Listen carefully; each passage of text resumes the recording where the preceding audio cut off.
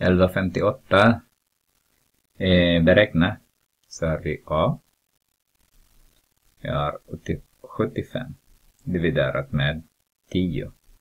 Som jag har sagt innan, kommatecken här är längst till höger. Så om vi flyttar det en gång till vänster, då har vi, ja, då har vi 7,5 d Eh, 15,4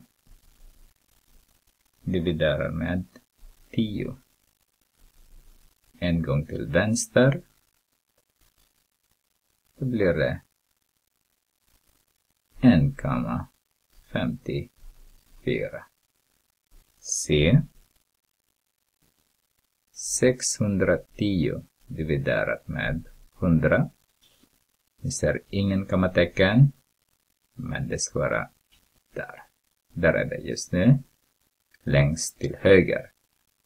Och det är 100, så vi ska dividera, eller flytta kommatecken två gånger åt vänster.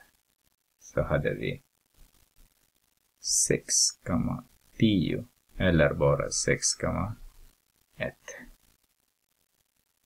Nästa. D. Vi har 982 dividerat med 1000. Då har vi kommatecken är fortfarande längst åt höger om ni ser inte den.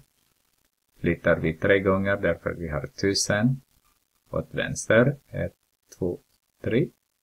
Så har vi 0, jag vill inte använda grunder,